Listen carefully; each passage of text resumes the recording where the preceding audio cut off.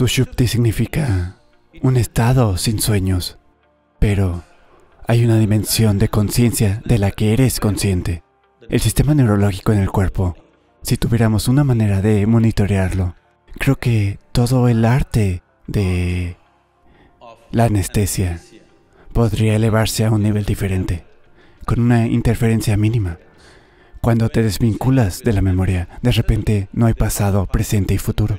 Entonces no hay tiempo, porque no hay tiempo, tampoco hay espacio.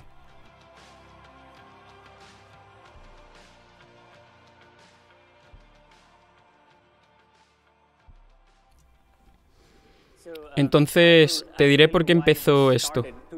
Hace dos años estábamos en una conversación con Sadhguru y le pregunté, todos sabemos que la anestesia funciona, pero realmente no sabemos cómo funciona. ¿Puedes aportar algo de claridad sobre esto? Y él me habló brevemente y luego dijo una afirmación, que es, la anestesia, corrígeme si me equivoco, Sadhguru, porque a veces puedo estar equivocado, si te cito específicamente, la anestesia no puede tocar la conciencia, solo puede quitar la memoria. Me impactó esa respuesta porque esa no es la forma en la que pensamos sobre la conciencia. Y pensé que tal vez muchos días he pasado noches sin dormir pensando en esto. Tal vez es hora de que redefinamos el término conciencia en sí mismo. Y después de haber pasado varios programas con él, creo que hubo algunos destellos aquí y allá para saber que hay mucho más de lo que conocemos. Así es como empezó esto y entonces, Emery, tú eres quien ha trabajado mucho en esta área, así que probablemente puedas empezar a decirme lo que sabemos ahora sobre cómo la anestesia causa realmente la pérdida de la conciencia. Bueno, voy a comenzar. Así que, de nuevo, es un placer compartir el escenario con Sadhguru y con Nico. Entonces, ¿cómo funciona la anestesia? En realidad, ¿cuántas personas aquí han sido anestesiadas? Gran tema, ¿verdad? Hay muchos clientes por ahí. Exactamente, muy bien. Bien, fantástico. Entonces, ¿qué te pasó? Ya sabes, algunas personas dicen que apagamos el cerebro o que te dejamos inconsciente, te ponemos en coma. Pero creo que, sin embargo, es decir, hemos tardado en entender realmente lo que ha sucedido. Y lo hemos hecho en una serie de estudios en seres humanos, así como en animales. Así que solo te daré una forma aproximada de pensar en ello. Cuando tomas las drogas de la anestesia o cuando te las dan a los anestesistas, el cerebro no se apaga. Ya sabes, no es como si de repente el interruptor se apagara. Si observas lo que le ocurre al cerebro, en realidad está en un estado muy dinámico. Los circuitos reales en el cerebro están oscilando, están creando ondas. Y para darte una idea de esto, si miras mis manos así, están oscilando ahora. Esta es la forma en que tu cerebro está en un estado normal de, perdóname, conciencia, ¿de acuerdo? ¿Cierto? ¿De acuerdo? De acuerdo. Según lo entiendo desde mi pequeña y limitada manera de... ¿De acuerdo? Pero entonces, lo que pasa es que las drogas se apoderan de los circuitos. Y ahora, los circuitos oscilan así. Mientras mantengamos las drogas allí, están allí, haciendo eso. Ahora, ¿qué significa esto? Significa que si este área del cerebro se comunicaba con ese área del cerebro para que pueda ser consciente, ahora ya no puede hacerlo. Cuando apagas las drogas, el cerebro regresa. Mientras mantengas las drogas, hace esto, crea oscilaciones. Es muy parecido a ese vídeo de YouTube, no estoy seguro si algunos de ustedes han visto, donde hay un puente en Tacoma, Washington. No sé si lo han visto. El puente en Tacoma, Washington, y de repente comienza a oscilar en una onda sinusoidal perfecta, así. Y ningún vehículo puede pasar por el puente. Es lo mismo que sucede bajo la anestesia. Y lo que sucede es que estas oscilaciones, al ser tan fuertes, se apoderan del cerebro. No son naturales. Y tú sabes, una de las cosas que Bala mencionó fue que después de la anestesia, nuestros cerebros a menudo no funcionan como lo hacían antes. Así que ahora puedes ver que si has estado durante un estado como este durante 4, 6, 8 horas, y sabes, mira, yo obtuve mi tarjeta ERP hace unos 12 años, así que estoy en esa categoría también, ¿verdad? Puedes entender por qué tal vez tu cerebro no funcione, ¿de acuerdo? Así que básicamente eso es todo. Y lo bueno de esto, lo bueno de lo que te estoy diciendo, es que nosotros, como anestesistas, podemos ver este estado. Podemos verlo en el electroencefalograma de los pacientes en la sala de operaciones. Y podemos usarlo para cambiar la forma en la que administramos nuestras drogas. Esa es la consecuencia. Y luego, la otra consecuencia práctica de esto es que, como nos tomamos la anestesia muy en serio, en otras palabras, no decimos, oh, solo te damos drogas y te vas y vuelves. Mientras la tomamos en serio y la estudiamos, podemos empezar a interactuar con nuestros colegas de neurología y establecer vínculos entre los problemas en los que están trabajando. De hecho, podemos empezar a tener conversaciones con individuos distinguidos como Sadhguru, que puede ayudarnos a entender qué es lo que estamos haciendo en un nivel más profundo. Pero si no nos tomamos en serio lo que hacemos en términos de lo que sucede en el cerebro, no estamos en esa posición. Y por eso me gustaría pensar que estamos tratando de mover la investigación ahora para, en otras palabras, usar la anestesia, el estudio de la anestesia, para ayudarnos a conectar con algunas de estas ideas más profundas sobre el cerebro, la mente y la conciencia. Emery, ¿tienes alguna idea al respecto? cómo estamos conectando la anestesia con la... Sí.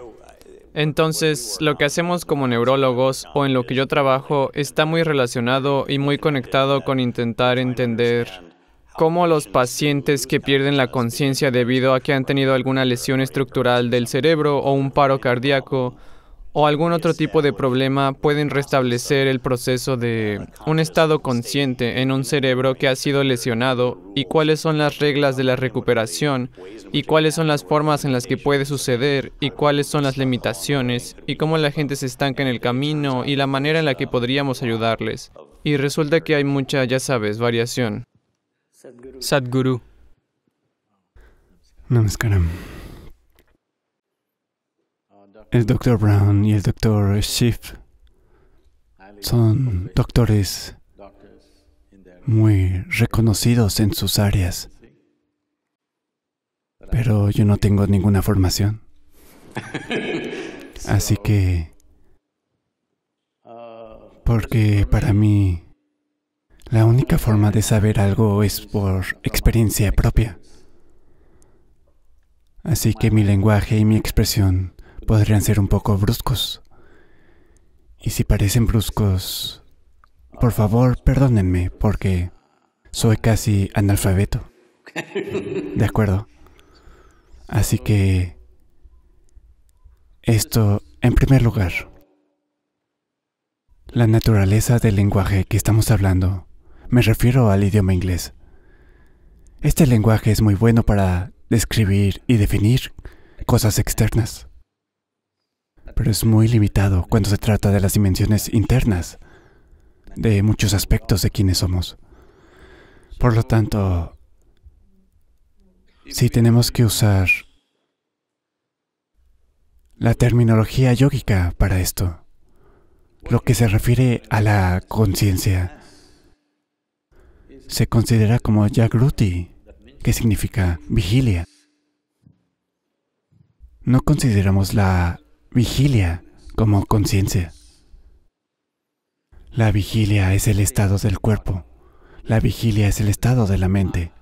La vigilia es el estado de las bioenergías dentro de nosotros, pero eso no es conciencia. Lo que ves como cuerpo físico. Bueno, una cosa que me gustaría aclarar es que no consideramos el cerebro como un aspecto muy significativo, porque vemos que la inteligencia está en todo el sistema. Generalmente, en la comprensión de la mayoría de la gente, creo, la mente es considerada como una combinación de memoria e inteligencia. ¿Estoy en lo cierto? Sí. Si tomas esto como una definición, es un hecho que cada célula de nuestro cuerpo lleva millones de veces más memoria que la que puede llevar todo el cerebro porque estas células del cuerpo recuerdan incluso lo que ocurrió hace un millón de años. Recuerda el tono de la piel de tus antepasados. Desde hace un millón de años nada ha cambiado. Nunca se confunde. Así que en comparación con lo que puedes llevar en el cerebro como memoria consciente, lo que cada célula o cada ADN lleva es extraordinariamente mayor. Y, y la dimensión química de lo que se lleva a cabo en cada célula es mucho más complejo de lo que podrías imaginar con todo tu cerebro. Así que, tanto en términos de inteligencia como de memoria, la extensión es mucho mayor. Creo que todo este enfoque en el cerebro surgió principalmente porque en algún lugar, probablemente antes del Renacimiento, llegamos a esto porque esa región, en gran parte estamos hablando de Europa, estaba sumamente dominada por sistemas de creencias muy dogmáticos. Cuando la gente atravesó por eso, se suponía que nadie podía pensar por sí mismo, ya todo estaba dicho y hecho. Cuando la gente atravesó eso y comenzaron a pensar por sí mismos, pensar un poco de libertad parecía una liberación absoluta para esas personas. Y creo que esa resaca aún perdura en nuestros sistemas educativos, en nuestras ciencias médicas, en la propia forma en que abordamos incluso las ciencias fundamentales. Esa resaca de que el pensamiento lo es todo está influyendo muy profundamente en nuestra estructura social y en nuestra forma de explorar. En, en las ciencias del yoga no le damos ninguna importancia a tu pensamiento. Lo que sea que estés pensando no tiene ninguna importancia para mí. Por eso, lo que sea que alguien diga, no lo escuchamos. Simplemente lo sentimos. Solo lo sentimos. ¿Cuál es su química? ¿Cuál es su... ¿Cómo están ahora mismo? No me importa lo que están diciendo. Así es como... Tal vez sea un problema evolutivo mío, porque he estado en selva solo y he visto que la mayoría de las criaturas te juzgan así. Eh, ¿Sabes? Creo que mostraron una foto mía manipulando una cobra real. He estado muy involucrado con todo tipo de criaturas, particularmente con las cobras y esas cosas. Su sentido de nuestra química es tan agudo. Puedes ir a la naturaleza y simplemente agarrar una cobra. Como has visto, no la estoy sujetando por la cabeza. No es una cobra de mascota. Es una cobra real. Si te muerde, no te dará más de 20 a 40 minutos antes de que mueras. Pero yo la agarro así. No hará nada, porque está sintiendo mi química. Si muestro un poco de agitación, vendrá por mí. Si solo estoy bien, ella está bien conmigo. Entonces, no le damos ninguna importancia al pensamiento, porque el pensamiento es el reciclaje de los datos que ya hemos recogido. No puede venir ningún pensamiento que sea absolutamente fresco. Son permutaciones y combinaciones de los datos que ya tenemos. En este momento muchas personas se acercan a mí con mucho miedo y dicen, Sadhguru, la inteligencia artificial está llegando. Si viene, se apoderarán del mundo. Y yo les digo, si se apoderan y dirigen la maldita cosa, tú estás de vacaciones, ¿no es así? Pero es un hecho que todo lo que podemos reunir como información, analizarlo, expresarlo y usarlo de muchas maneras, todas estas cosas las máquinas lo harán mejor que nosotros en los próximos 10 a 15 años. Todo lo que sea procesamiento basado en datos, las máquinas lo harán mucho mejor que nosotros. Así que existe este miedo. Creo que es un muy buen momento. Este es el momento en el que necesitamos explorar una inteligencia más allá del intelecto. Porque nos hemos vuelto tan intelectuales, nos hemos vuelto tan cerebrales en nuestra visión de todo. Como bien has dicho, nada está realmente apagado, solo hemos interrumpido la comunicación.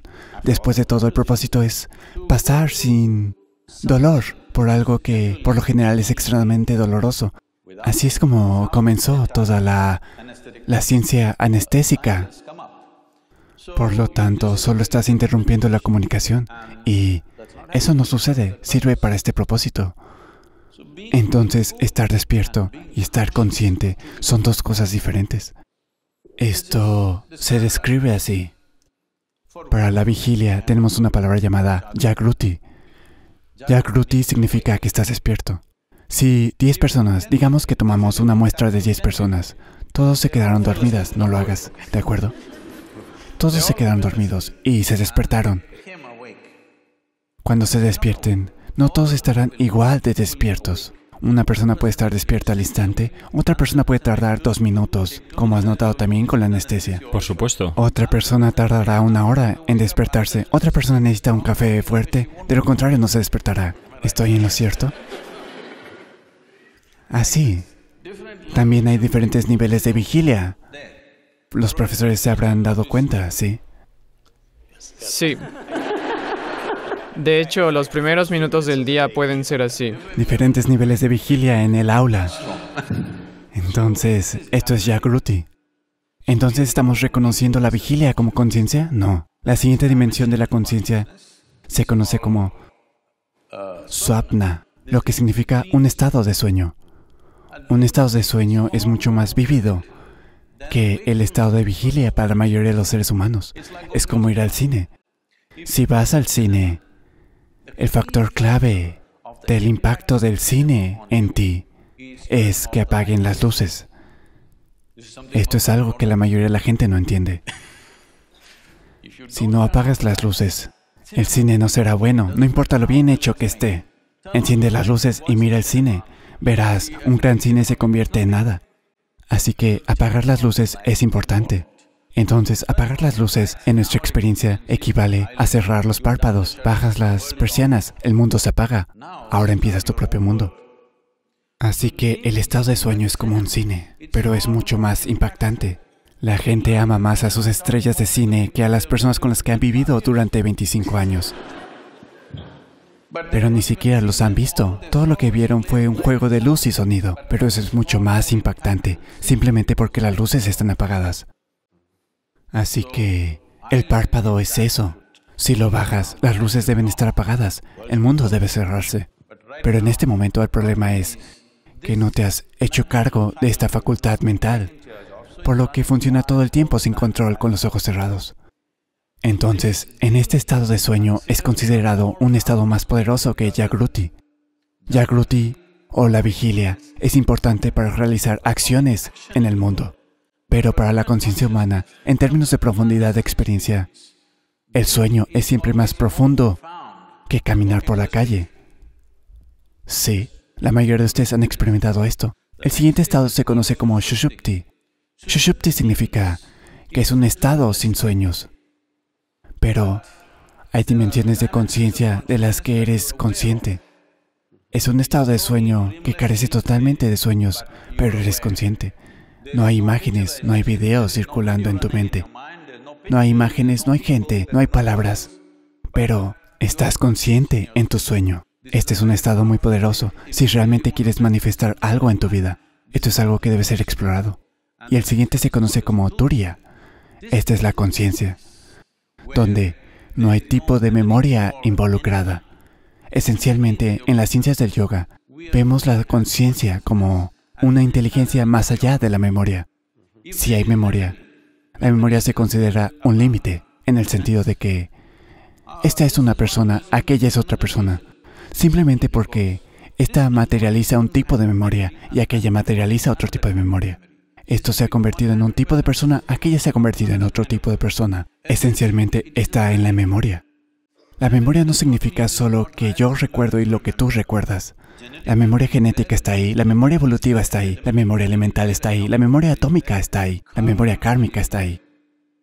Las memorias inarticuladas y articuladas están ahí, pero por lo general pensamos que memoria significa lo que podemos recordar conscientemente, pero hoy en día, si comemos comida para perros, no nos convertiremos en perros. Algo dentro de nosotros recuerda, no importa lo que comas.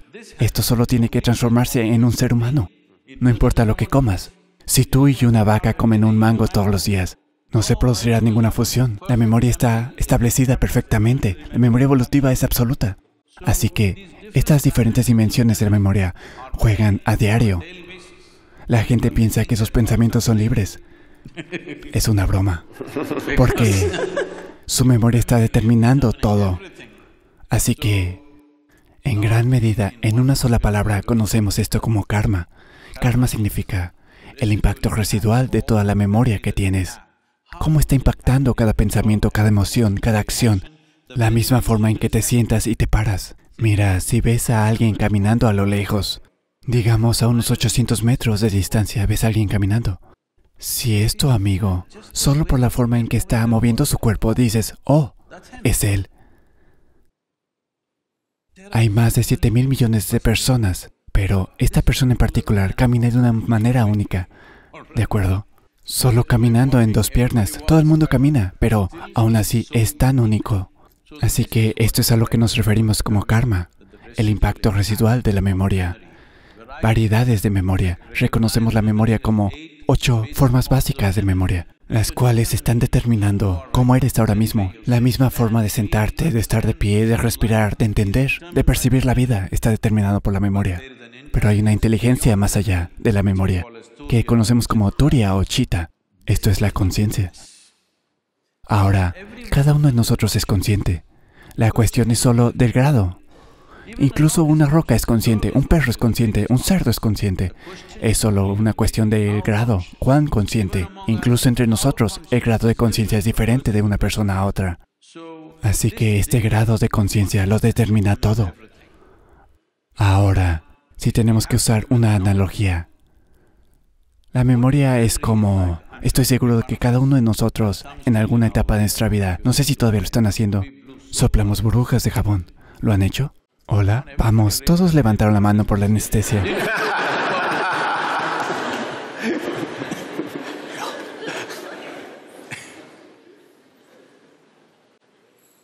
Así que cuando soplas una burbuja, la parte del jabón, que es muy pequeña, solo una pequeña gota, la mayor parte de ella es aire que captura. Entonces, ¿qué tamaño tiene una burbuja? Cuando eran niños, ¿quién podía soplar la burbuja más grande? Era un asunto importante. Hay una cierta cantidad de técnica en cómo lo haces. Alguien sopló esta burbuja, alguien consiguió solo este tamaño. Así que, ¿qué tan grande es la burbuja? Esta burbuja es así. El tipo de jabón y cómo se acumula es tu memoria. Le da una forma. Pero cuando la memoria estalla, no hay tal cosa como tu aire y mi aire. No existe tal cosa como tu conciencia y mi conciencia. Existe lo que llamamos como tu cuerpo y mi cuerpo. Existe lo que llamamos tu memoria y mi memoria. Existe algo llamado tu intelecto y mi intelecto.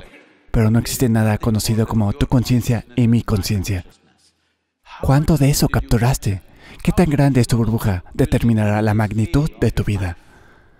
La magnitud y las posibilidades de tu vida están determinadas por el tamaño de la burbuja que hayas soplado. Bien.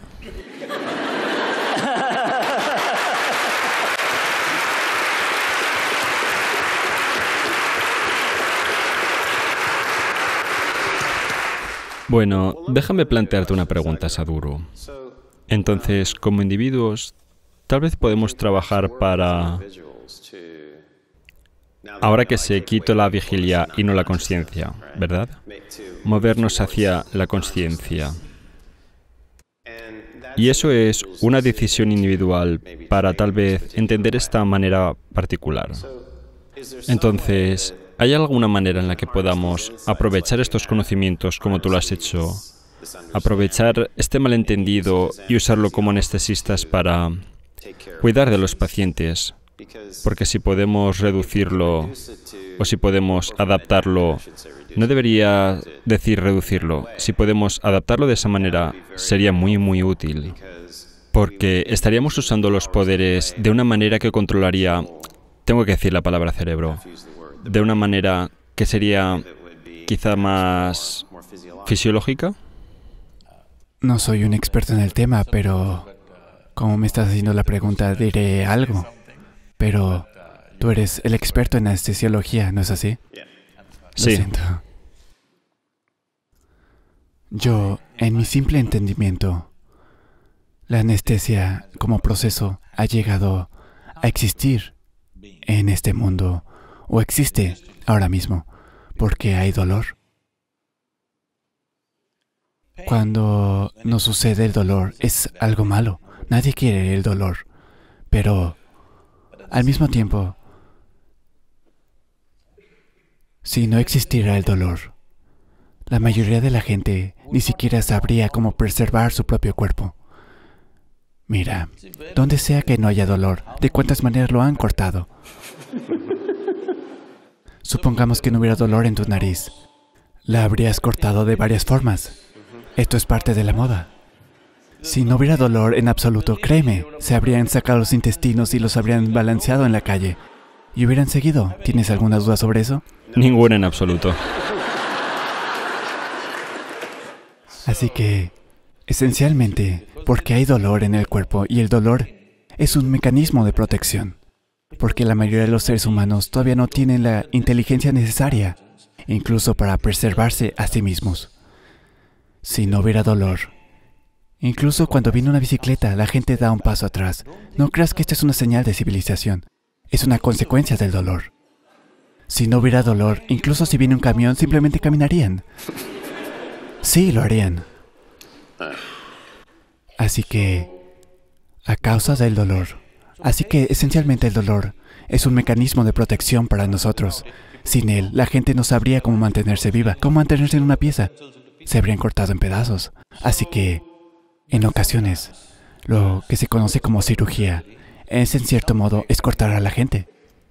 Claro. Así que cortar a las personas se ha vuelto una necesidad. ¿Cómo cortarlos? Con una cantidad mínima de perturbación en el sistema.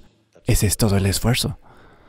Así que en este esfuerzo, como has dicho, esencialmente desvinculas diferentes partes del cuerpo.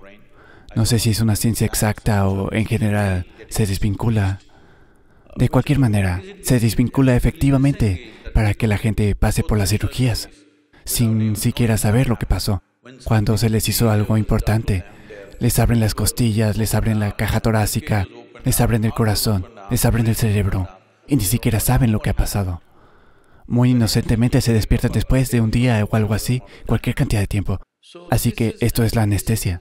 ¿Cómo podríamos usar, mira, una dimensión cuando, cuando estábamos hablando en la sala, cuando dijiste, esencialmente, si me equivoco, por favor, corrígeme. Estás monitoreando los sistemas fisiológicos de los latidos del corazón, la presión sanguínea y la temperatura. cerebrales. Cualquier cosa, los factores fisiológicos. Sí, no sé si es siquiera una posibilidad, pero si encuentras una manera de monitorear el sistema neurológico ignorando por completo el sistema fisiológico, mira, la preocupación puede ser en el momento en que pones a alguien en la mesa y empiezas a abrir el cuerpo. La preocupación de un médico o de un cirujano puede ser que no lo quieres muerto en la mesa. Por lo tanto, estás vigilando sus latidos, estás vigilando su pulso, estás vigilando todos los parámetros. Entiendo y aprecio esa preocupación, pero en lugar de... De acuerdo, dejemos la monitorización fisiológica como está. Pero si tenemos una manera, no sé si hay una manera en la ciencia médica, si monitorizamos el sistema neurológico, no solo el cerebro, el sistema neurológico en el cuerpo, si tenemos una manera de monitorizar eso, creo que todo el arte de la anestesia podría elevarse a un nivel diferente con una interferencia mínima. Podría suceder porque, porque estoy diciendo esto es, hay algo que se conoce como marma en el yoga y también en lo que se conoce como kalari en el sur de la India. Es una cierta forma de arte marcial. Marma es una manera de crear, matar el dolor completamente en ciertos momentos cuando queremos. Simplemente al tocar ciertas partes del cuerpo, al manejar el cuerpo de cierta manera. Así que esencialmente lo que hacemos es apagar el sistema neurológico. Y no hay dolor en absoluto. Podemos seguir adelante y hacer lo que tenemos que hacer. Y solo cuando lo liberemos el dolor volverá. Así que usando eso como base estoy diciendo que si la ciencia médica tiene una manera de monitorear el impulso neurológico mientras está sucediendo y si hay alguna manera de introducir anestésicos en cualquier forma que uses, no conozco todos los cócteles que usan, pero si se hace correctamente, probablemente, solo estoy suponiendo, no soy un experto en esto, probablemente con el 2 o el 3% de tu medicamento podría seguir teniendo el mismo efecto en el paciente. Porque, ¿cómo usas cualquier medicamento en el cuerpo y cómo lo usas en el sistema neurológico. Yo diría que el 1% de lo que usas en el músculo, si lo usas en el nervio, producirá el mismo efecto. Pero es interesante porque creo que lo que dices también tiene relación con el trabajo que hacemos en la fase de recuperación. Y ahora hay personas que están estudiando muy cuidadosamente las interacciones cardíacas y cerebrales y señalan algunos de estos cambios. Y es sugestivo, quiero decir que tal vez más, más del cuerpo podría estar involucrado en la forma en que pensamos y medimos. Y eso en realidad tiene mucho sentido para mí. ¿Puedo hacerte otra pregunta? Así que leí un poco sobre ti. Y...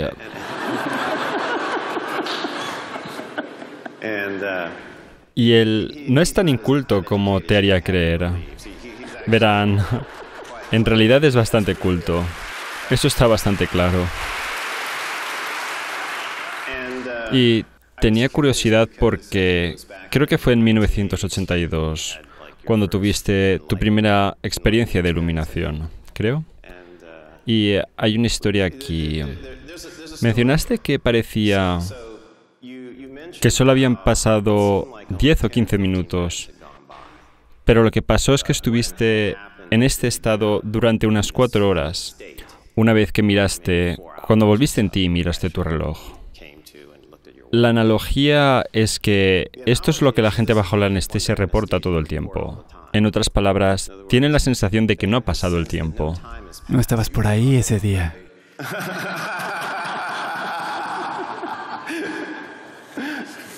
Tal vez estoy asumiendo, pero ellos reportan un fenómeno muy similar, ¿sabes? Que parece que a veces se despiertan de la anestesia y dicen, ¿ya empezaste?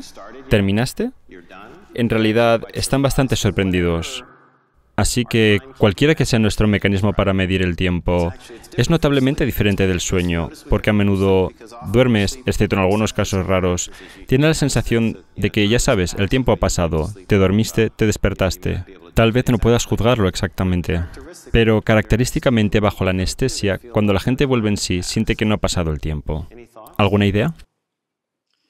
Mira, nuestro sentido del tiempo. La única forma en que los seres humanos conocemos el tiempo es por el movimiento cíclico de las cosas que suceden. Si la Tierra gira una vez, lo llamamos día. Si la Luna gira alrededor de la Tierra, lo llamamos mes. Si el planeta gira alrededor del Sol, lo llamamos año. O si el reloj da una vuelta, lo llamamos hora.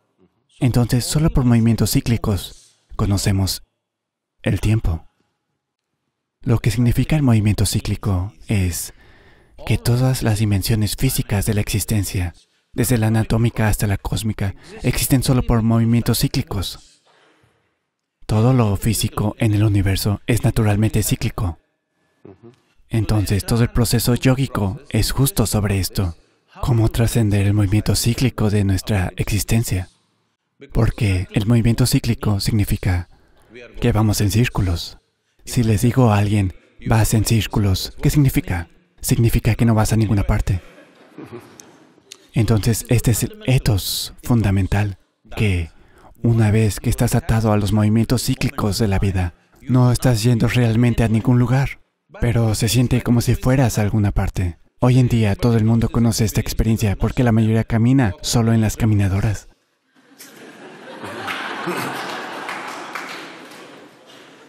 Estuve conversando con Ed Begley, que era un ecologista, y dijo, si alguien de otro planeta viene aquí, un extraterrestre viene aquí, y ven que conducimos hasta el gimnasio y luego pedaleamos dentro del gimnasio en una bicicleta estacionaria, ¿qué pensarán?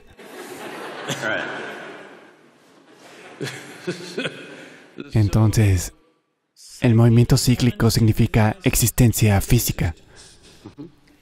La existencia física, como hoy se la conoce en la física fundamental, desde siempre las ciencias yógicas han dicho esto, es una parte minúscula del espacio más grande. Es un cero punto, algún porcentaje. Todos nosotros juntos somos un porcentaje insignificante y el planeta y el universo y todo. El universo físico está muy por debajo del 1% del espacio cósmico. Eso es cierto, incluso con un átomo individual. Incluso en un átomo individual, la sustancia está muy por debajo del 1%. Entonces, así de minúsculo es nuestro involucramiento. Como yo lo veo en mi experiencia, es solo es la huella. Estamos tan involucrados con la huella. Sabes, he estado en las selvas del sur de la India durante largos periodos de tiempo. En una ocasión participé en un censo de tigres. Entonces por varios días seguimos las huellas de los tigres. Solo vimos las huellas, no vimos un maldito tigre. Así que hasta que no veas al tigre, cualquier imagen que tengas por ver las huellas, el tigre las rompe. Cuando te gruñe, todo se va. Ya sabes, estudiaste la huella, creíste entender cómo hace las cosas, su comportamiento. Todo lo entendiste a partir de sus huellas, cómo se mueve, lo que hace, pero cuando lo ves, todo este conocimiento que acumulaste se desvanece en un momento. Afortunadamente no te hizo su desayuno, pero con solo verlo, todo se desvanece. Así que ahora mismo solo estudiamos la huella, la conciencia, el 99 punto, lo que sea porcentaje restante que está allí en el átomo, que está allí en el cosmos, esto es la conciencia. Y un átomo ha capturado una minúscula parte de la conciencia. Tú y yo hemos capturado la mayor cantidad en comparación con cualquier otra criatura de este planeta. Es por eso que somos la cima de la evolución, porque hemos capturado lo más grande. Pero el tiempo lo conocemos solo por nuestro involucramiento con los movimientos cíclicos. Una vez que no hay movimiento cíclico o si te desvinculas de alguna manera de la fisicalidad de tu existencia, cuando digo fisicalidad, todo lo que es físico en ti se ha acumulado a lo largo de un periodo de tiempo, ¿no es así? Cierto. Es una acumulación. Ahora, todo lo que es mental en ti también es acumulado. El contenido, estoy diciendo. El marco puede estar ahí, pero el contenido es todo acumulado. Lo que acumulas no puede ser tú, ¿no es así? Puede ser tuyo, pero nunca puede ser tú. Así que una vez que hay un poco de desvinculación con la fisicalidad de todo lo que has acumulado, de repente no hay sentido del tiempo ni del espacio. Lo que es ahora es entonces, lo que es entonces es ahora, lo que es aquí es allí y lo que es allí es aquí, todo se vuelve así. Está muy bellamente expresado. El Adi Yogi, el primer yogi, hace más de 15.000 años dijo esto. La gente, sus discípulos, lo interrogaban y preguntaban, ¿cuál es la naturaleza de esta existencia? ¿Dónde comienza el cosmos? ¿Dónde termina? Él se rió de ellos y dijo, puedo empacar tu cosmos en una semilla de mostaza. Wow. Entonces, solo asegúrate de que lo entendemos. Si entiendo la experiencia que tuviste sobre la que Emery pregunta y tal vez la experiencia que podría no pasar por la memoria y el lenguaje del paciente y la anestesia desde este punto de vista, sería una que está fuera del tiempo, tal vez interior, como dice en el video, pero el espacio tiene una especie de aspecto similar al tiempo, donde el presente y el futuro están en la misma distancia. ¿Es una especie de reafirmación de alguna manera? Esto podría parecer contradictorio con lo que generalmente se cree en la física fundamental. La física moderna mira el espacio y el tiempo. Las ciencias yógicas solo miran el tiempo. Solo hay tiempo, no hay espacio. Como hay tiempo, existe la consecuencia del espacio. Si no hubiera tiempo, no habría espacio. Entonces el tiempo es lo básico, no el espacio. El espacio es una ilusión de lo que has creado, porque estamos involucrados con nuestra naturaleza física. Entonces, si te desvinculas de tu naturaleza física, de repente no hay tiempo, así que no hay espacio. Así que de repente lo que está aquí está allí, lo que está allí está aquí. La gente piensa que sucedió algo milagroso. No sucedió nada milagroso. Es solo que dejaste de lado tus acumulaciones por un momento. Eso es todo lo que acumulaste y lo que eres se sentaron por separado. El programa básico que enseñamos como ingeniería interior es justo esto. Para lo que entrenamos a la gente es que si te sientas aquí, el cuerpo está aquí, lo que llamas tu mente está en otro lugar, lo que eres tú parece estar a un poco de distancia. Una vez que hay un pequeño espacio entre tú y tu cuerpo, entre tú y tu mente. De repente no hay tiempo. Una vez que no hay tiempo, no hay espacio, no hay posibilidad de espacio. Debemos entender esto. Tenemos una palabra común para el tiempo y el espacio. Lo llamamos kala. Kala significa tiempo. Kala también significa vacío. Entonces, el vacío significa espacio. Así que esta sala está vacía. Eso significa que hay espacio aquí. Cuando la sala está llena, decimos que no hay espacio aquí. Es la forma simplista. Eso es lo que queremos decir. Pero la misma palabra se emplea tanto para el tiempo como para el espacio, porque el espacio es engranado por el tiempo. Si no hay tiempo, no hay espacio. Ahora mismo entendemos el tiempo como movimientos cíclicos. Entonces vemos el tiempo en dos dimensiones diferentes, Kala y Mahakala, el tiempo mayor. El tiempo mayor no tiene movimientos cíclicos. El movimiento cíclico se debe a la naturaleza física. Debido a la naturaleza física hay tiempo en términos de nacimiento y muerte, en términos de iniciación y caducidad, de todo lo que sucede. Cada átomo, cada electrón, cada protón, en algún lugar tiene una edad. Incluso los planetas mismos y el sistema solar y el Sol tienen una edad. En algún momento comenzarán y en algún momento van a terminar. Ya sea con un bang o que se apague poco a poco, es algo que podemos debatir. Pero la fisicalidad no es perpetua, empieza y termina. Debido a eso, vemos el tiempo en ese sentido.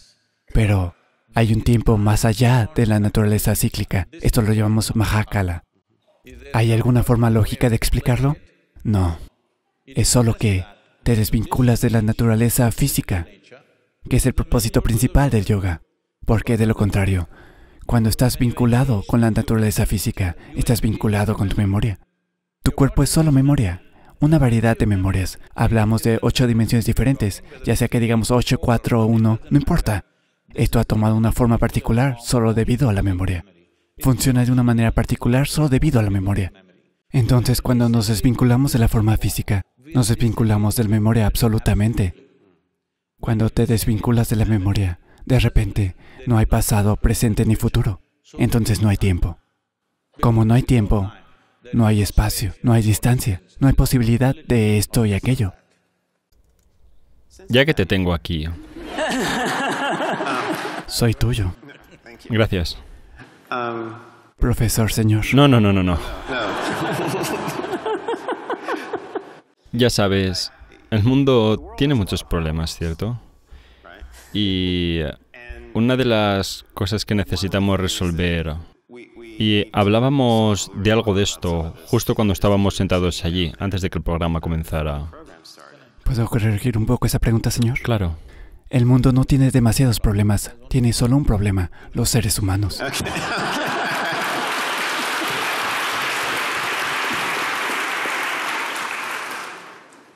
Entonces, si pudiéramos centrarnos en ese único problema, de acuerdo, em, ¿Qué hacemos?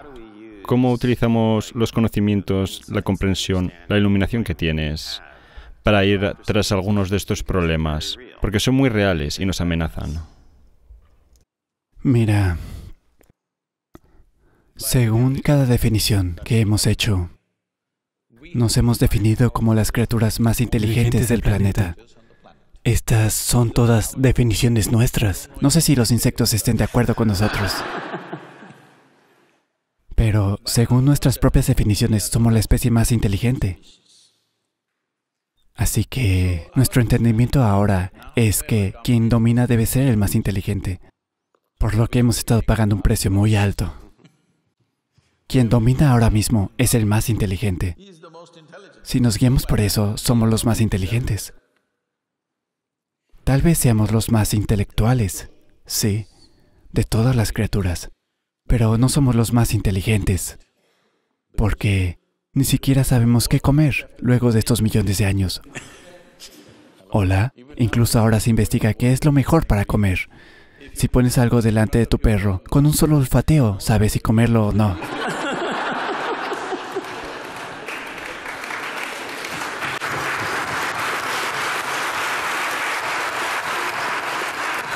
Así que esto es principalmente porque este es un nuevo suceso.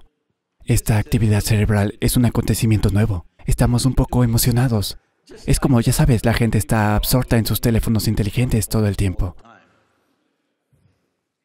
Caminan así en todas partes. No miran la salida del sol, incluso eso lo ven en la pantalla del teléfono. Miran todo el cosmos en la pantalla de su teléfono. Porque el instrumento es nuevo. Probablemente la próxima generación ni lo mire. Ahora mismo, como es nuevo, todo el mundo está absorto en él y lo llaman teléfono inteligente. Por lo general, alguien se refiere a otra persona como inteligente cuando considera que esa persona es más inteligente que ella. ¿Cierto? Así que, desafortunadamente, para mucha gente, el teléfono es lo más inteligente que tienen. Entonces, este es un dispositivo nuevo. Esto... Deberías saber más sobre estas cosas si tienes los nombres adecuados para esto. ¿El cerebro? No. En el cerebro, este desarrollo cerebral. La corteza cerebral. Sí. Y sí, sí. Este es un nuevo acontecimiento, así que estamos un poco emocionados. Esto puede boom, boom, boom, ya sabes. Tiene todas esas figuras de luces azules volando por todas partes. Nos emocionan esas cosas. Pero, fundamentalmente, la inteligencia siempre ha estado. ¿De acuerdo? Puede que haya encontrado expresión en forma de pensamiento, que nos dio la capacidad del lenguaje y muchas otras artes y música y las cosas. Nos dio varias capacidades, no hay duda de ello. Entonces solo un porcentaje muy pequeño de las personas lo usan de esa manera. El resto de la gente usa su intelecto solo para volverse locos a sí mismos. ¿Solo tratas las lesiones o también tratas a las personas que se desvarían? Yo, ya sabes, solo hago neurología. No estoy certificado en psiquiatría, si esa es tu pregunta. Si son neuróticos, No estoy entrenado para eso. De acuerdo. Todos vienen a... No estoy entrenado Mucha profesionalmente para eso. Tienes suerte.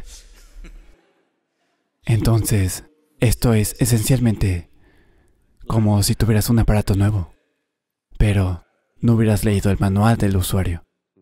Haces lo que puedes con eso. El sufrimiento humano que ves, los seres humanos sufren en varios niveles. Como médico, probablemente ves el sufrimiento físico en términos de enfermedad y cirugías y por lo que sea que pasen, lesiones y demás. Pero yo veo un nivel de sufrimiento diferente. Personas que no tienen ninguna enfermedad de la cual quejarse, pero que sufren profundamente. Las personas sin enfermedades sufren mucho más que las personas con enfermedades. Al menos si tienen una dolencia, tienen una buena excusa. La mayoría de la gente no tiene una excusa. Simplemente sentados, parados, sufren. Todo el mundo ha encontrado una razón. ¿Por qué? Alguien sufre porque es pobre. Sufre su pobreza. Si lo haces ricos, sufrirán los impuestos. No tienen educación, no pudieron entrar a la escuela, sufrirán. Mételos en la escuela, ya los has visto sufrir aquí. Estarán en la mejor escuela y sufrirán. No están casados, sufren. Cásalos.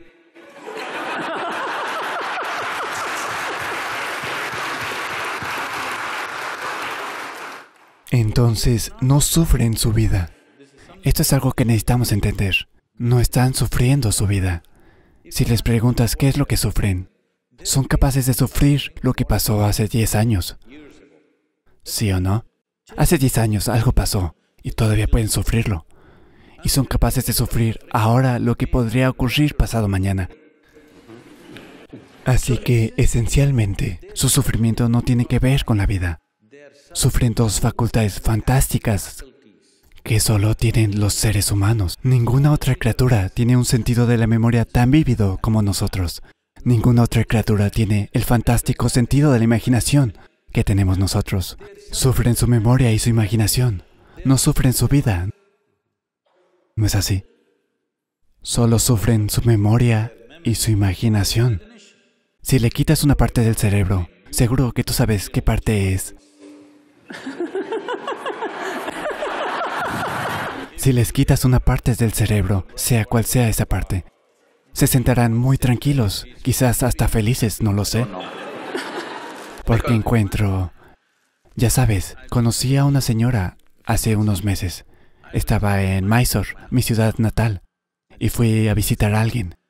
Y justo había entrado a un edificio, una anciana de complexión muy pequeña, quizás tenía más de 75 años. Se acercó sonriéndome tan dulcemente y solo me preguntó, ¿cómo estás? Le dije, señora, estoy bien. ¿Cómo está usted? Y luego subí. Yo nunca olvido las caras, pero esa no era una cara que conociera.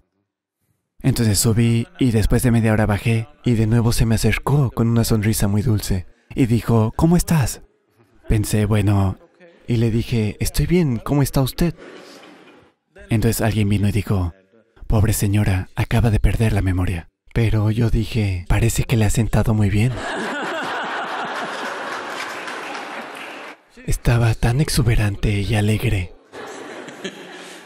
Así que un montón de personas, un montón de personas, cuando pierden sus facultades, se vuelven mejores. Esta es la desafortunada naturaleza de nuestra existencia, que nuestras capacidades se han vuelto nuestros problemas. Si nuestras incapacidades son nuestros problemas, eso es comprensible. Pero cuando nuestras capacidades se vuelven nuestro problema, nos dirigimos a un desastre, ¿sí o no? Esta es una capacidad tremenda. Este desarrollo cerebral es una capacidad tremenda. Pero ahora es lo que sufrimos. Nuestro fantástico sentido de la memoria y de la imaginación lo sufrimos. Y no es de extrañar que la gente pierda la memoria, porque muchas, muchas veces en su vida, conscientemente o inconscientemente, desean poder olvidar algo. Y lo olvidarán algún día. Cuando lo olvidan, de repente se convierte en una enfermedad. Pero siempre lo desearon. Todos los días, un montón de seres humanos continuamente desean y rezan, desearía poder olvidar esto. Pero cuando lo olvidan, entonces se convierten en un caso.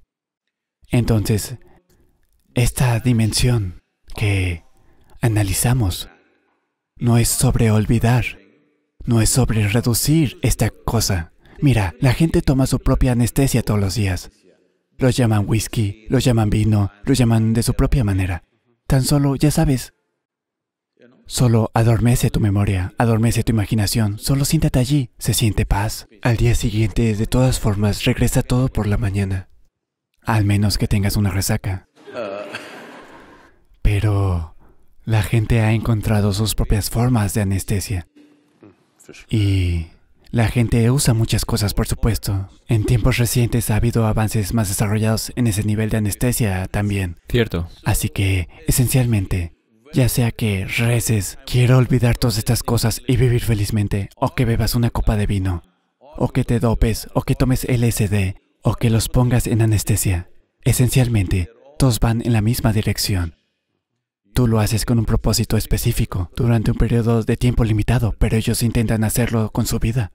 Y un día, cuando pierden la memoria, desafortunadamente han conseguido su propósito de cierto modo. Esa es la tragedia. Porque la gente se lleva a sí misma hacia eso. La gente trata de pensar, quiero decir, hoy en día en el mundo, la gente piensa que hay algo llamado locura y cordura. No hay una línea real allí. Es una línea que manejas tú mismo, con tu propia disciplina y tu propia percepción. ¿Hay realmente una línea llamada cordura y locura? Dime. Uh, mm, ¿La hay? Mira, es así. Lo que tú crees que es normal, otra persona lo considera una locura. ¿No sucede todo el tiempo? La generación anterior piensa que la generación joven está loca. La generación más joven cree que los mayores seguros que perdieron la cabeza. Todo el mundo hace estos juicios. Una cultura piensa que otra cultura está loca. Entonces, solo es una línea que creamos y manejamos artificialmente porque sabemos que si la cruzamos, no podremos controlarnos. Incluso cuando la gente se enfada, el término que utiliza siempre es, me estoy volviendo loco, así que lo saben. Así que saben que han cruzado su línea. La línea no es la misma para todos. Lo que es mi línea y lo que es la línea de otro son lugares diferentes donde la gente ha trazado sus líneas. Alguien piensa, está bien de vez en cuando. Al menos tres veces al día le grito a alguien, está bien. Si yo alguna vez le grito a alguien, probablemente me retiraré por muchos años, porque algo así no puede ocurrir. Si ocurre, me he perdido. Entonces, ¿cuál es tu línea y dónde está tu línea? Es algo que tú has dibujado. No hay una línea existencial que diga que esto es cordura y esto es locura. no existe tal cosa. La cuestión es solo esta. Si tienes el control de tus facultades mentales, esto se llama cordura. Si no tienes control de tus facultades mentales, esto se llama locura. Supongamos que ahora mismo podemos hacer un experimento con todos ellos. ¿Podemos? Claro.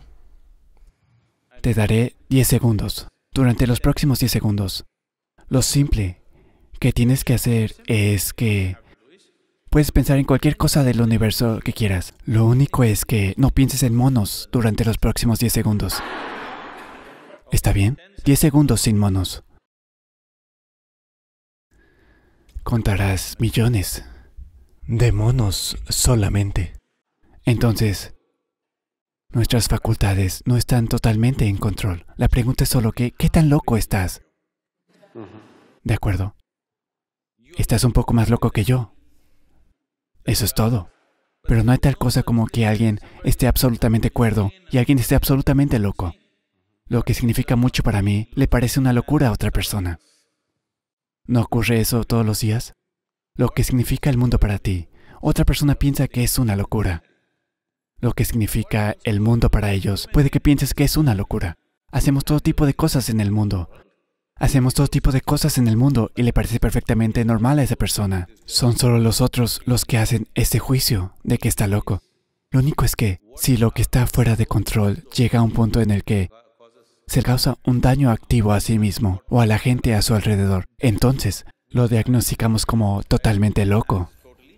Pero debe haber algún tipo de acuerdo, solo lo llamaré así, para que podamos tener una estructura social funcional, ¿cierto? Entonces dices que la cordura es algo social. Pregunto, tengo miedo de afirmar aquí. No, no, es así. Mira, incluso en términos de cordura y locura, lo que es delito y lo que no es, es algo social, ¿no es así? Correcto. Es algo muy social. Así que cuando hablamos de lo social, lo social sigue evolucionando de generación en generación, sigue cambiando. Lo que creías que era malo se ha vuelto bueno, lo que creías que era bueno se ha vuelto malo. En una generación sucede, ¿no es así? Entonces las realidades sociales no tenemos que debatirlas. Es un flujo que todos nosotros creamos, lo que generalmente se llama cultura. La cultura no es algo que nos cayó encima. El desorden que creamos hoy es la cultura de mañana. Lo que las generaciones anteriores hicieron, no lo hicieron todo conscientemente, hicieron algún lío, y esa es nuestra cultura ahora. Entonces, está bien, si entiendo la respuesta, es una respuesta muy esperanzadora, porque no importa lo mal que se vean las cosas, nos presentan un problema que podemos resolver. Es eso, eh, en la próxima generación. ¿Ese es el punto? ¿Tienes hijos adolescentes o algo así?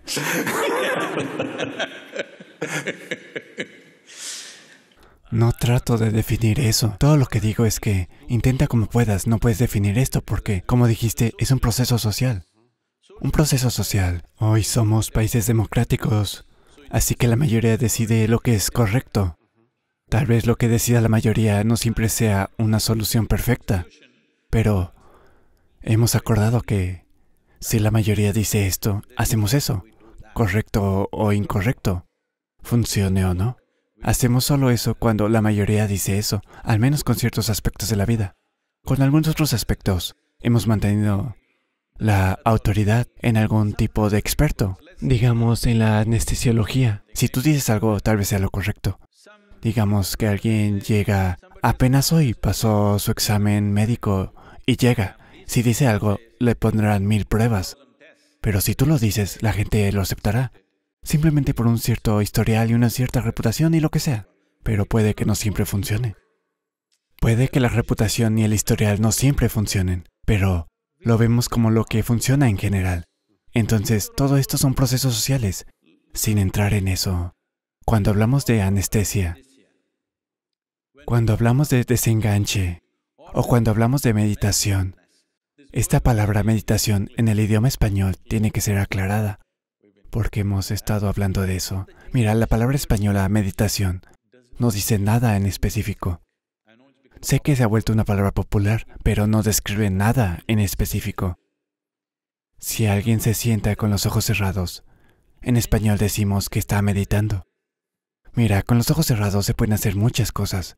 Puedes hacer yapa, tapa, dharana, dhyana, samadhi, shunya, samyama. Hay muchas, muchas cosas. O puede que solo hayas dominado el arte de dormir en posturas verticales. Sucede en las universidades, en los programas espirituales, en... La gente aprende a dormir con la columna vertebral recta.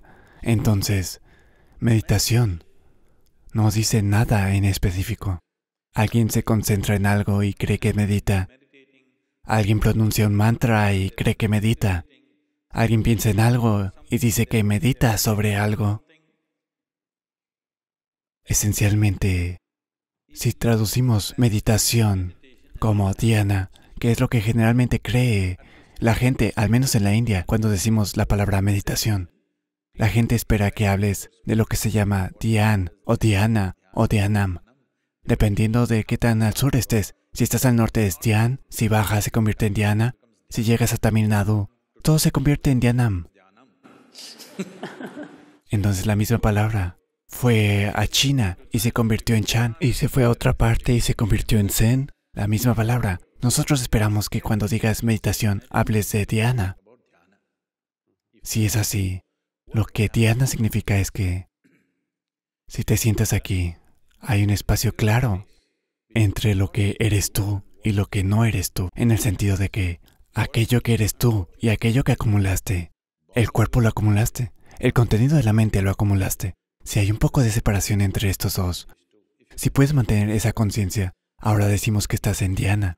Entonces, esto es la meditación. Esto no es algo que puedas hacer jamás. Si creas las condiciones adecuadas, esto sucederá como consecuencia. Es como las flores en una planta. Si te sientas en tu jardín y haces la meditación de las flores, las flores no van a venir.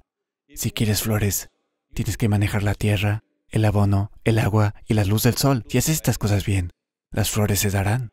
Bueno, el suelo no parece una flor. El estiércol no huele a flor. El agua o la luz del sol no se sienten como una flor. Pero solo si haces esas cosas bien, esto sucederá. Ahora mismo, todo este asunto se ha enrevesado. Porque nos hemos convertido en una sociedad muy orientada a los objetivos. Eso significa que nos interesa la consecuencia. No nos interesa el proceso.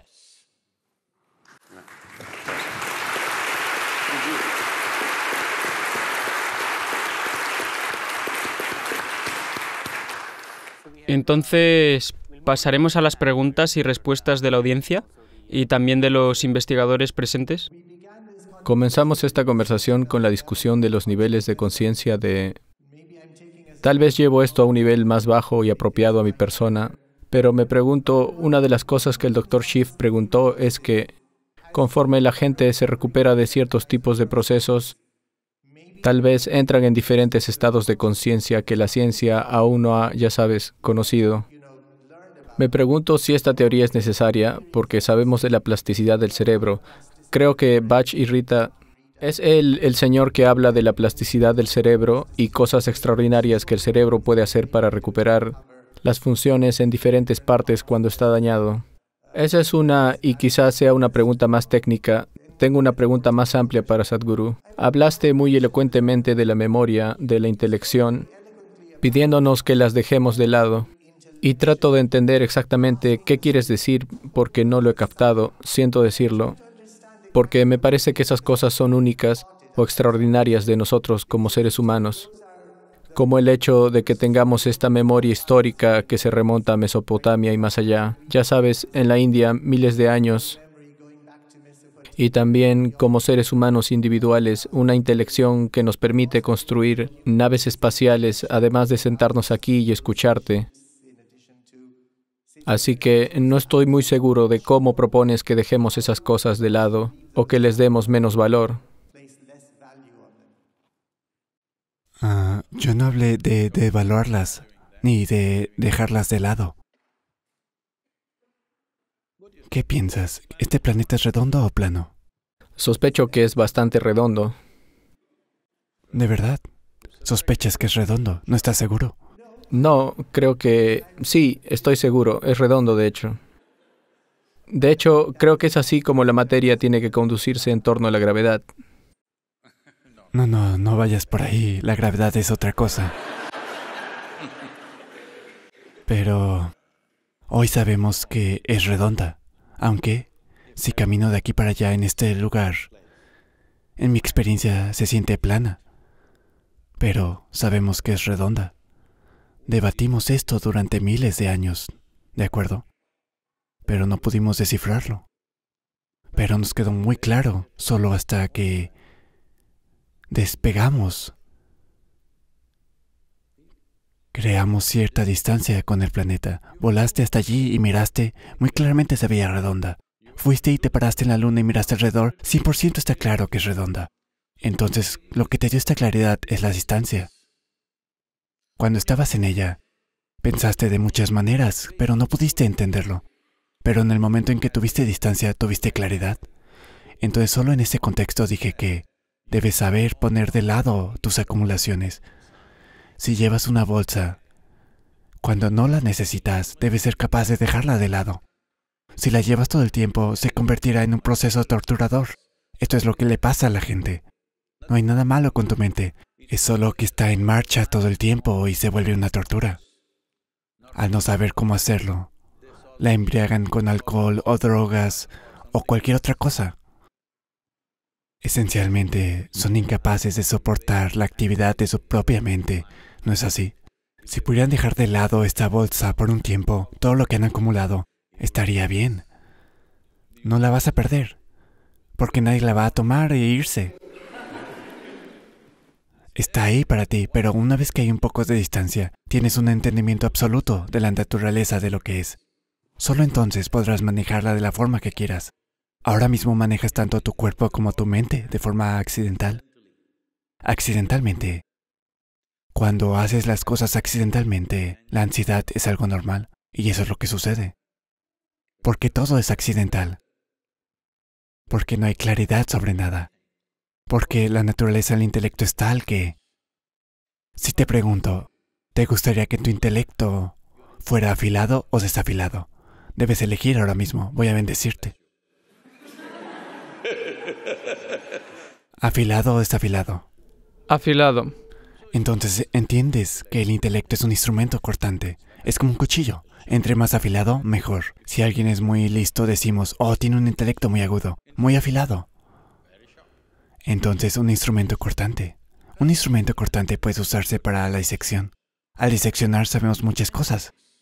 Tomaste ciencias en tu escuela secundaria, abriste esa rana y viste cómo latía el corazón la rana no pensó mucho en ello, esa es otra historia, pero...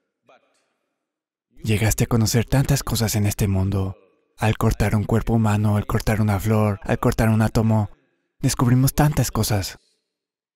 Pero, ¿es esta una forma completa de conocer? ¿Puedo conocerte completamente al diseccionarte? ¿Es posible? Tal vez te conoceré mejor si te incluyo, si te involucro, en lugar de diseccionarte. Al diseccionarte puedo conocer tu corazón, tu hígado, tu riñón y tu vaso, pero no sabré nada de ti. Solo al incluirte te conozco. Así que, así que usas un instrumento cortante o digamos que tomas tu cuchillo y tratas de coser tu ropa. Tendrás harapos. Entonces, esto es lo que ocurre cuando abordas todo intelectualmente. Todo se vuelve retazos. Intentamos coser con un cuchillo. No va a funcionar. Hay otras dimensiones de la inteligencia. Nosotros, en la forma yógica de ver las cosas, vemos la inteligencia humana como 16 partes. De las 16 partes, para hacerlo más simple, podemos dividirla en cuatro categorías. Se llaman Buddhi, Ahankara, Manas y Chitta. Buddhi significa el intelecto, es la parte delantera. Este es esencialmente un kit de supervivencia. Sin tu intelecto discriminatorio, no serías capaz de sobrevivir en este planeta. Tienes que discriminar. Ahora, aquí vino un venado y aquí vino un elefante. Debes saber qué camino tomar. De lo contrario, no sobrevivirás. La discriminación está constantemente en marcha, lo cual te mantiene vivo en este momento. De lo contrario, no sabrías si caminar en la... Ya sabes, si caminar en la acera o en medio de la carretera, no lo sabrías. Entonces hay un proceso discriminatorio que te mantiene vivo. Es un instrumento de supervivencia. Sin él no puedes funcionar. ¿Cómo funciona ese instrumento de supervivencia? cuál es su naturaleza. No nos adentraremos demasiado en eso, porque hay guardianes del tiempo. Pero es algo que todo el mundo conoce. La siguiente dimensión se conoce como Ahankara. Ahankara significa identidad. ¿Qué tipo de identidad estableces? Así es como funcionará tu intelecto. Ahora mismo te sientas aquí y dices, soy americano. Esto piensa y actúa como un americano todo el tiempo. O digo, soy un indio. Esto piensa y actúa como un indio. En la India ocurre un ejemplo clásico en nuestra propia generación. Todo era una nación. Alguien trazó una línea y dijo, esto es India, esto es Pakistán. De repente, una línea que alguien dibujó y nadie sabe dónde está exactamente la maldita línea. Todavía la disputa continúa, ¿de acuerdo? Pero, de repente, si estás en este lado, tienes un tipo de emoción y pensamiento. Si estás de este lado, tienes una emoción y pensamiento completamente diferente. Solo un trozo de tela. Quiero decir una bandera. Si las miras, te brotarán las lágrimas. La gente está dispuesta a vivir por ella y morir por ella, ¿de acuerdo? Así es como es la identidad. En el momento en que te identificas con algo, tu intelecto sirve siempre a esa identidad. Si dices soy un hombre, siempre funciona como un hombre. Si dices soy una mujer, funciona de esa manera. Si digo soy esto o aquello, cualquier raza, religión, nacionalidad, lo que sea. En el momento en que te identificas con algo, tu intelecto se esfuerza solo por proteger esa identidad y apoyarla. Así es como funciona tu intelecto. En las sociedades modernas no hemos hecho nada al respecto. La gente se identifica con clubes de fútbol. Son naciones por sí mismas. Sí. Oh, sí. Un club de fútbol es una nación por sí misma. La gente está dispuesta a luchar por él y a morir por él. Porque no hemos cultivado una identidad. Lo que significa cultivar una identidad. En la India había un sistema, ahora desafortunadamente ha desaparecido en gran medida, aunque una parte de la India aún lo tiene. Es lo primero antes de empezar la educación. Se llama Vidya Rambam. Antes de que empieces la educación, lo primero que debes hacer es, debes tener una identidad universal una identidad cósmica. Solo entonces se te da una educación, porque la educación es empoderamiento. Nunca debes empoderar una identidad limitada. Si empoderas una identidad limitada, la violencia es una consecuencia natural de ello.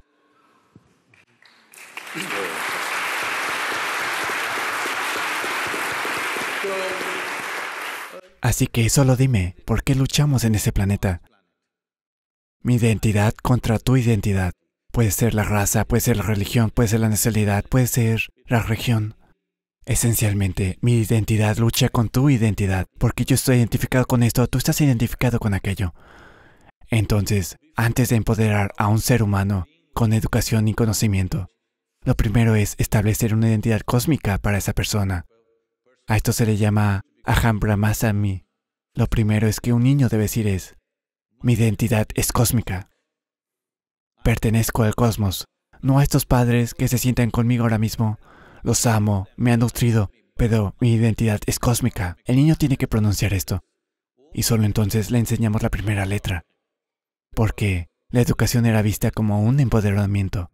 Solo dime, hoy en el mundo, ¿la gente sin educación analfabeta causa más daño o la gente educada en el planeta causa más daño a todo el planeta?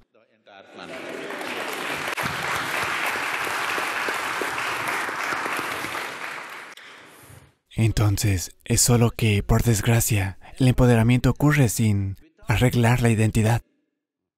Con mi identidad limitada, si estudio todo tipo de ciencias nucleares, ¿qué voy a hacer? Voy a bombardearte, eso es todo lo que voy a hacerte. ¿Qué más te voy a hacer? Eso es todo lo que te haré, porque esta es mi identidad. Si te pones en mi contra, de pronto tengo que hacer algo al respecto. Así que cualquier capacidad que tenga, la voy a usar. Eso es lo que está sucediendo. Entonces las identidades no se han trabajado en absoluto. Eso es un gran problema. Pero el intelecto funciona de acuerdo a tu identidad. Si debemos continuar con la analogía, el intelecto es como un cuchillo. Es un cuchillo. No ponemos un cuchillo en la mano del niño. ¿Por qué? El cuchillo no es peligroso. La mano del niño no es firme. Ese es el problema, ¿no es así? Tú estás en las salas de cirugía todo el tiempo. Dime, en este planeta, ¿Los cuchillos toman más vidas o crean más vidas? Hola. ¿De verdad toman más vidas? ¿Eres cirujano? Crean más vidas. Tanto en la cocina como en la mesa de operaciones crean muchas, muchas vidas. Aquí y allá, en una mano irresponsable, toman una vida. ¿No es así? El cuchillo no es peligroso. En la mano. Es la identidad la que hace que el cuchillo sea peligroso. Si no hay cuchillo, mataremos con la mano sola. ¿Sí o no? Claro. Entonces, la tercera dimensión de la inteligencia se conoce como manas. Este manas es el núcleo de la memoria sobre la que hablamos. Hay ocho dimensiones diferentes de la memoria. Memoria elemental, memoria atómica, memoria evolutiva, memoria genética, memoria kármica, memoria inarticulada, memoria articulada y memoria consciente. Las ocho dimensiones de la memoria. Todo lo que se ha ocurrido desde el principio de la creación aquí en este planeta, desde la amiba hasta ahora. Todo, la memoria de eso está ahí en el cuerpo en alguna forma. Y todos los días usas esta memoria de manera inconsciente. Usas esta memoria. De lo contrario, si olvidas, un día de repente puedes empezar a ser como un reptil. No, esto recuerda todo el proceso evolutivo. Y no subestimes eso. Ahora que también dijiste que el planeta es redondo. Una cosa simple, como caminar sobre dos piernas en un maldito planeta redondo que gira. No es una cosa fácil. ¿Sabes cuánto hay de por medio? La física de eso es muy, muy súper compleja. Los que se van de borrachera entienden lo difícil que es caminar en un planeta redondo. O si tienes vértigo o algo así, entonces lo entiendes. Porque es un proceso muy, muy complejo caminar sobre un planeta redondo que gira pero lo hacemos sin esfuerzo, gracias a esta evolución. No es algo sencillo. Pasar de cuatro pies a dos pies no es un desarrollo pequeño. Se ha producido todo un desarrollo neurológico. Solo por eso somos capaces de caminar sobre dos piernas. Así que ahora esta memoria funciona todo el tiempo. Y el punto de acceso es la identidad. ¿Cómo te identificas? Así es como eliges la memoria. Sea cual sea el tipo de memoria, ambos podemos tener el mismo tipo de memoria. Pero si yo me identifico de una manera y él se identifica de otra, elegiremos la memoria de forma diferente. Organizaremos la memoria de forma diferente y actuaremos de forma diferente, con la misma educación. ¿No van las personas por caminos diferentes? En la misma casa nacen dos niños, la misma genética, la misma comida, la misma escuela. ¿Acaso no van así? ¿Por qué? Porque depende de qué tipo de identidad elijas este, disciplinar o establecer una identidad ilimitada, no una identidad pequeña e ilimitada, debe ocurrir a temprana edad. Si esto no sucede, nuestra inteligencia trabajará en contra de nosotros. Eso es lo que sucede en el mundo de hoy. La cuarta dimensión de la inteligencia se llama chita, que no es contaminada por la memoria. Esta es una inteligencia no contaminada por la memoria. No hay ni una pizca de memoria en ella. Esto es lo que normalmente en el idioma inglés pasa por conciencia. Así que donde no hay memoria, no puede haber límites. La memoria es la base de los límites. Este soy yo y este eres tú. Esta es mi memoria contra tu memoria. Este soy yo y esta es una mesa. Esto es solo por la memoria. Si no hay memoria, no hay límites. Entonces, ir más allá de esos estados de memoria es necesario para todo ser humano independiente de las capacidades que tengas ahora mismo, porque nuestras exploraciones, nuestros conocimientos, nuestra ciencia, nuestras tecnologías, bueno, esto es lo que está consumiendo la base misma de nuestra vida también, ¿no es así? El planeta desaparece y no tenemos solución para eso, pero seguimos adelante, simplemente porque hemos explorado pedazos sin captar toda la dimensión de lo que es. La conciencia significa que fuiste más allá de los límites de tu memoria y captaste la vida tal y como es. Ahora, sin importar cuántos conocimientos tengas, harás lo que se necesite y nada más de lo que se necesita. Y eso es lo que tiene que ocurrir en el mundo.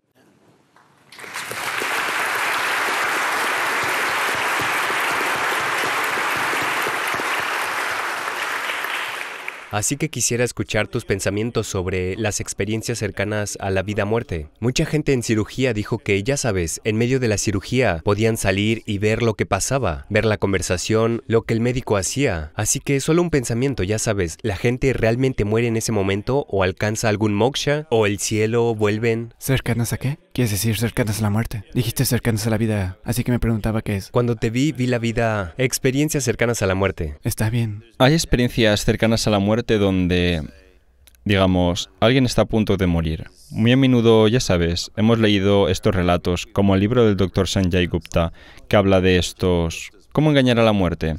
En cuyo caso, luego tienen estas experiencias donde pueden ver luces o lo que sea. Solo quiero distinguir, porque son dos casos diferentes. Bien, de acuerdo. De cualquier manera, cuando decimos muerte, la definición de muerte en un nivel es que perdiste tu cuerpo. Eso es lo que es la muerte. Así que, quiero decir, no entremos en otras áreas. Te llevaré a lugares muy confusos. Sobre las experiencias cercanas a la muerte, es lo que se conoce como meditación. Tenemos un cierto tipo de meditación llamado shunya. Shunya se traduce literalmente como vacío. Esa no es la traducción correcta, pero pero no hay una palabra apropiada en español, así que es el vacío o la nada. Así que si te estableces en la meditación shunya, no es cercano a la muerte, es realmente muerte, pero muerte consciente. Supón que vas en bicicleta Eres un ciclista novato, con un poco de equilibrio, así que irás así. Algún otro chico irá con las manos libres. Y silbará y mirará aquí, mirará allá y montará. Y hará todo tipo de cosas. Se levantará en el manillar y hará la vuelta, saltará, todo esto. ¿Por qué? Es una cierta maestría. Un cierto equilibrio y maestría. Ahora, puedes bajarte un salto de la bicicleta y saltar de vuelta y hacer todas estas cosas. Lo mismo ocurre con tu cuerpo. Si tienes cierto dominio, puedes saltar y saltar de vuelta sin esfuerzo. Ahora sucede accidentalmente debido a alguna medicación. O para muchas personas durante los 60 o 70, la época del LSD, había una gran cantidad de gente que hablaba de estas cosas. Señor, ¿es tu tiempo? Era su tiempo. Oh, está bien. Metafóricamente. Así que un montón de gente hablaba de esto y realmente les pasó. No es que imaginaran cosas, en verdad les pasó a muchos de ellos. Pero como era alucinatorio, nadie sabe si es esto o aquello. No hay manera de decir con seguridad si realmente les pasó o no. Pero he conocido a muchas personas de esos tiempos que realmente experimentaron cosas con las que sus vidas se transformaron de muchas maneras diferentes. De una manera loca, pero de repente, todo en ellos cambió, simplemente porque en lugar percibieron que se puede jugar un poco con este cuerpo si lo deseas, no es algo permanente. Simplemente esa pequeña conciencia cambió la forma en que perciben la vida y cómo se comportan y hacen las cosas en su vida.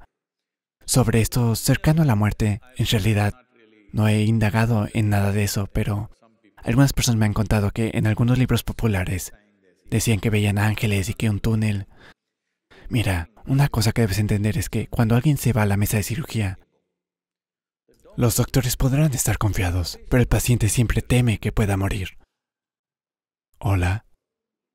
Los médicos podrán estar confiados, conocen el caso, saben lo que hacen.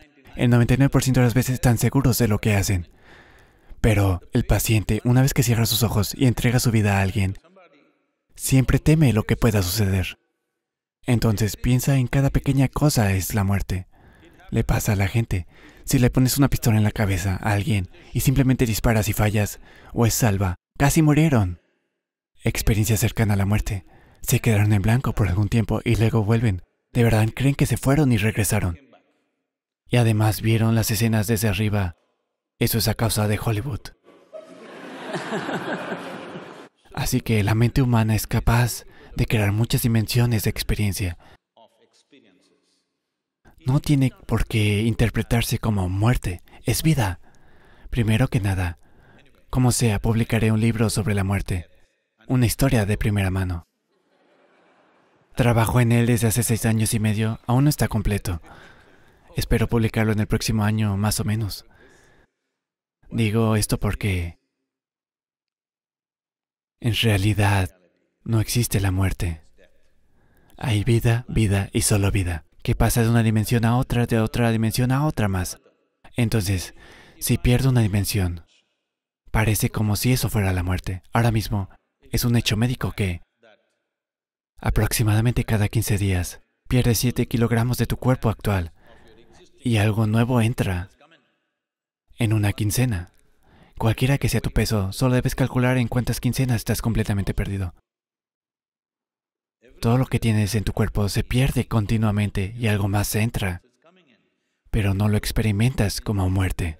Cada comida y cada día que vacías tus intestinos deberías experimentarlo como cercano a la muerte, pero eso no te sucede. Pero esto sí se sucede porque hay una cierta desvinculación. Experiencia, sobre todo por el impacto anestésico. La desconexión con varias facultades a las que normalmente estás acostumbrado, de pronto te hacen sentir que estás muerto. Nadie murió. Es una percepción completamente errónea.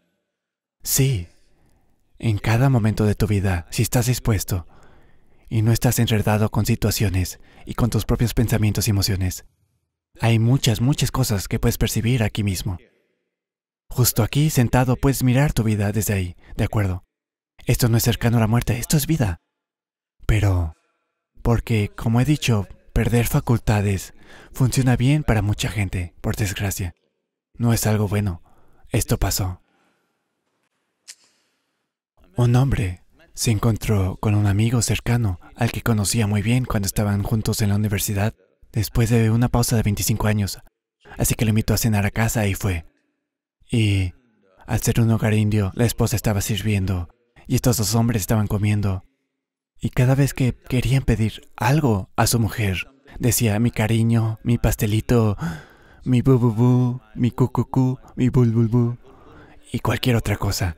Tú eres tamil, así que mi tangama y mi chuchu, todas esas cosas. Entonces, cuando terminó la cena, el amigo se marchaba y dijo, Tienes una vida increíble, ¿verdad? Yo llevo casado con mi mujer desde hace 15 años. No podemos ni mirarnos a la cara. La forma, los cariños que les dedicas a tu mujer son realmente fantásticos. Él dijo, ¿de qué hablas? Él dijo, la llamas Bulbulbu, la llamas Tangam, la llamaste así. Dijo, oh, hombre, olvidé su nombre hace siete años.